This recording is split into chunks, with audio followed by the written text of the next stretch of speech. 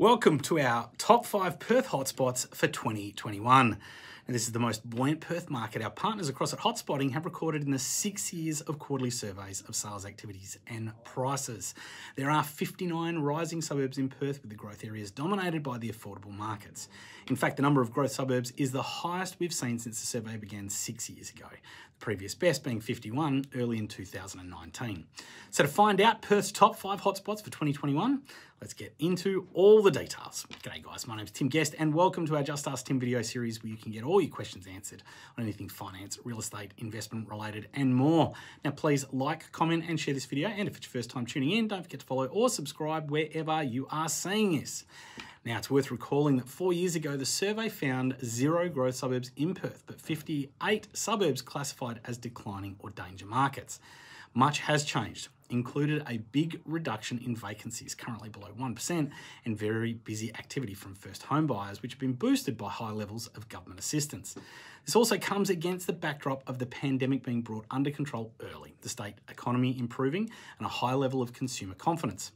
Now, the growth markets in Perth are dominated by the cheaper areas with first home buyers are most likely to be active. Coming in at number five is the Joondalup precinct. So as the Perth property market continues to rebound, municipalities of Joondalup, Wanneroo and Stirling maintain their status as recovery leaders.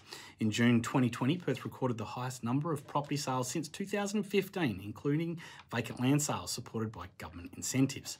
Now, the Joondalup local government area has been prominent amid this rise in buyer demand. Prospects for the Joondalup market will be further boosted by two significant projects. See work on a massive waterfront tourist slash retail project and marina has begun and is soon to be followed by the Boas Place project, which is a mixed use development of office, hotel, retail and residential elements. Joondalup is an area with strong amenities, services and good road and rail links to the CBD, recognised by the state government as the main strategic metropolitan centre in northern Perth. Its healthy economy is boosted by strong population growth. Joondalup offers a pleasant waterside environment with Lake Joondalup right there while being within easy reach of the ocean and Perth beaches. Now for property investors, it has the important quality of major education and medical facilities which provide a steady pool of rental demand. Now, the revival in this precinct is supported by some of the lowest vacancy rates in the Perth metropolitan area. So now moving on and coming in at number four is the Armadale region. So the Perth property market continues to rebound, recently recording not only the highest number of property sales since 2015, but also the highest number of vacant land sales since 2009.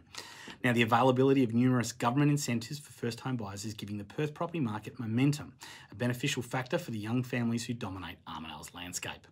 Now, Armadale is the fourth fastest growing local government area in Western Australia and has some of the most affordable houses of any capital city in the country. Strategically located on Perth's southeast transport corridor, it has the added advantage of being easily accessible to numerous large-scale employment nodes. Armadale has been marked for future infrastructure development by the federal government, encouraging business, industrial and residential projects. And the revival in this precinct is supported by some of the lowest vacancy rates, currently well below 1%, and that's uh, the lowest in the Perth metropolitan area. There's also been a significant uplift in sales activity in many of the suburbs of the Armadale local government area in 2020. Now, moving on and coming in at number three is the City of Stirling local government area.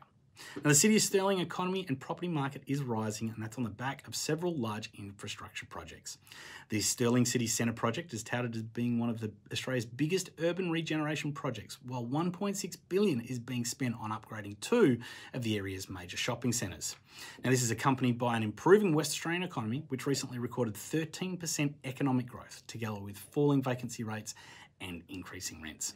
Government incentives have also encouraged more first home buyers to enter the market and this is having a positive impact on the Stirling property market, which has numerous suburbs with rising sales activity, and several which recorded rises in their past in their median prices, I should say, in the past 12 months. Now, the City of Stirling offers a leisurely seaside lifestyle, being home to the internationally renowned Scarborough Beach. Trendy bars and cafes impart a youthful vibrancy, attracting a steady stream of 20 to 40 year olds. Further adding to the region's appeal are the shopping and education facilities, coupled with good transport links to the Perth CBD. And next, and coming in at number two on our Perth top five hotspots for 2021 is Wanneroo. The Perth property market has rebounded strongly in 2020 with the municipality of Wanneroo at the forefront of the marked uplift in sales activity. With an ample supply of vacant residential land ripe for development, Wanneroo is attracting young home buyers spurred on by various government grants and incentives. Another positive aspect of the Wanneroo property market is the tight vacancies, which have been falling steadily since 2017. They are now well below 1%, a position which is not uh, seen, not been seen since the previous mining boom of 2013. Now, Over the past 10 years, 177,000 new residents have moved to this municipality, making it the fastest growing local government area in WA. And there's little sign of slowdown in growth of this region. And in support of this growth, both the Mitchell Freeway and the Joondalup uh, to Butler train line are being extended while the state government is busy building new schools. Growing industrial areas are providing employment opportunities, and with houses in most suburbs priced in the $300,000 and $400,000 mark, properties in the city of Wanneroo are worthy of attention by home buyers and investors.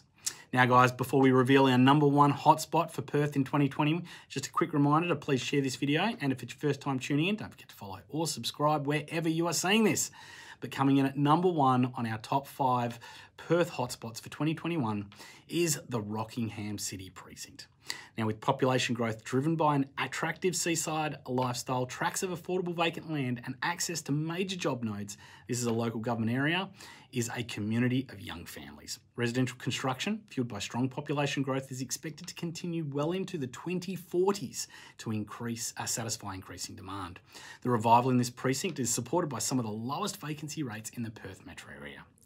The uh, Rockingham local government area is also an outstanding market, and of the nine ranked suburbs in this municipality, six are rising, and another is consistency. Baldivis, Port Kennedy, Safety Bay, Secret Harbour, Rockingham, and Waikiki all offer affordable housing options. Rockingham Precinct has several appealing features, the main factor being affordability. Most suburbs have median house prices below 350,000 and this is shored up by WA having a lower cost of living than its eastern counterparts. Projections by data analysts.id indicate 45,000 homes will be built between 2016 and 2046 to accommodate the population growth. The other attractive aspects of this market are the seaside lifestyle, good transport links, proximity to job nodes, high rental returns, and low vacancies. The combination of these elements makes the Rockingham local government area a prime target for first home buyers driven by a suite of government grants and incentives.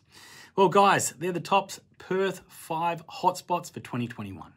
Have a great week, and remember, there's only one thing in life that makes a difference, guys. That's action. Thanks a lot. Bye for now.